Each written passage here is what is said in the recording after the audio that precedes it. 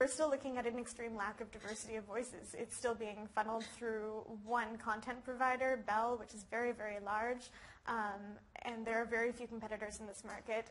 The CRTC will hold a new set of hearings into the deal starting May 6, and analysts expect a final decision later in June.